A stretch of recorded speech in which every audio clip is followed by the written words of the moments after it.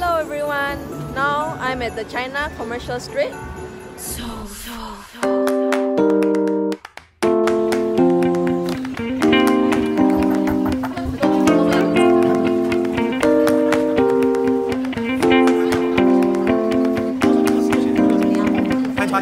Thank you.